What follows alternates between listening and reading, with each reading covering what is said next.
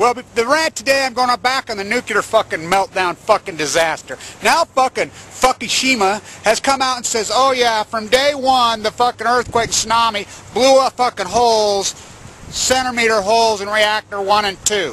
Which that means there's holes this fucking big in reactor fuck 1, 2, 3, 4, 5, 6. The operator of Fukushima Daiichi nuclear power plant has confirmed the leakage of some radioactive wastewater that was being transferred from a reactor to the disposal facility. Tokyo Electric Power Company has been transferring highly radioactive water from turbine buildings to the facility. TEPCO said on Thursday morning that the water level inside the facility had decreased by 4.8 centimeters over the past 20 hours. The drop translates to a loss of more than 57 tons. Workers later confirmed that the contaminated water had flowed into a passage leading to another building. The utility says there has been no change in the radiation readings of the groundwater, but it fuckers says it will beef up its monitoring and check whether the leakage occurred due to an inadequate reinforcement at the storage facility. Well, let me tell you something. These lying motherfuckers, the fucking media, there's a price to pay. If they would have covered this properly, how long were they there? A week?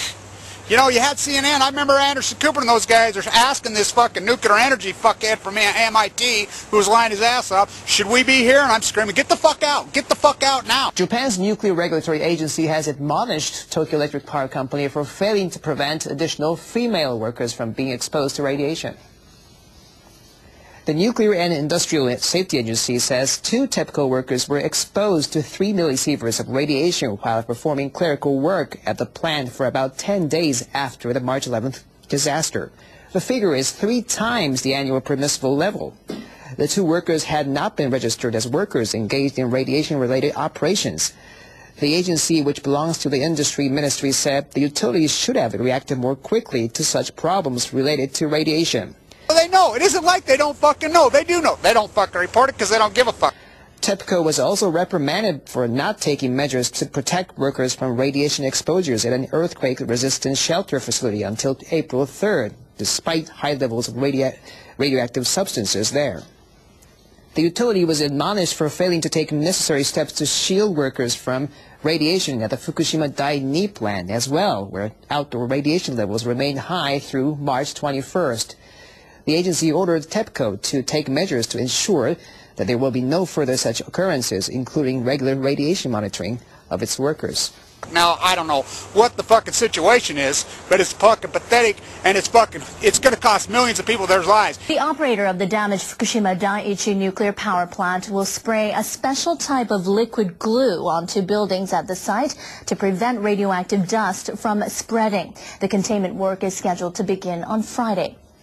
If this would have been reported fucking properly, this thing, the contemporized morons of the fucking world, would have been outraged and demanded this thing be entombed.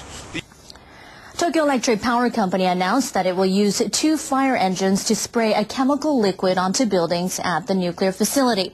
However, company officials say that not all the walls can be sprayed because debris still blocks access to some areas.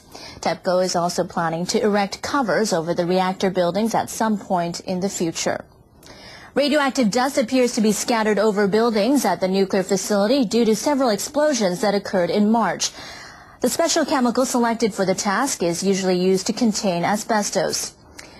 Beginning in April, a different chemical hardening agent was sprayed over the ground and scattered debris to prevent radioactive dust from being blown away by strong winds. However, the latest chemical compound won't be applied to all areas because if it gets inside the pool that contains spent fuel rods, it might interfere with the circulation of cooling water. However, the latest chemical compound won't be applied to all areas because if it gets inside the pool that contains spent fuel rods, it might interfere with the circulation of cooling water. Stupid motherfuckers.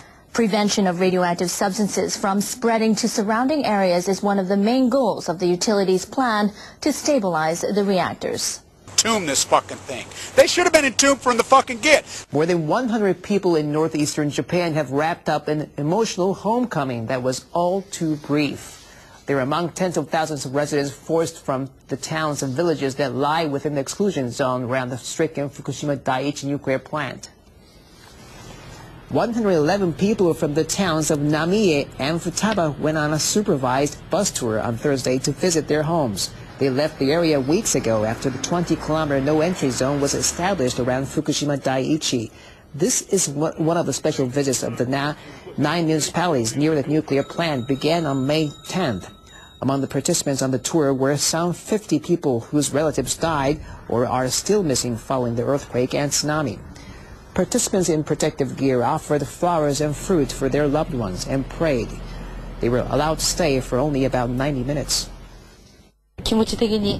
I feel a little relieved.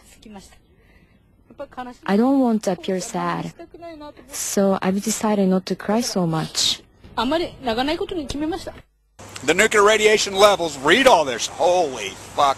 This is a mega disaster and the media's to fucking blame. They are to fucking blame. This thing should have been entombed from the fucking start. U.S. Space Agency NASA announced that it will launch an unmanned asteroid probe in 2016. It will be the first U.S. mission to collect surface samples from an asteroid and bring them back to Earth. NASA said on Wednesday that the spacecraft called OSIRIS-REx will take four years to approach an asteroid. The vehicle will extend a robotic arm to collect at least 50 grams of material from the surface and return to Earth in 2023. The mission is expected to cost around $800 million. NASA says asteroid samples can better explain how the solar system was formed and how life on Earth began.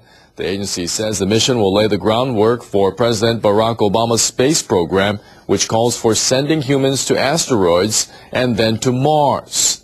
Last year, Japan's unmanned space probe Hayabusa completed the world's first mission to bring back samples from an asteroid. And you fucking morons all fucking out there, fucking, ah, this ain't shit. There's going to be so much fucking cancer right across this fucking country and this fucking world. There are no safe levels of fucking nuclear radiation. And the levels are fucking way up all over the world. Here in the United States, they're way up. Look at the fucking scientists and the experts on them. Fucking the real fucking the fucking organizations who don't have an agenda like the nuclear energy fucking and the media. Kevin Blanch, stay tuned.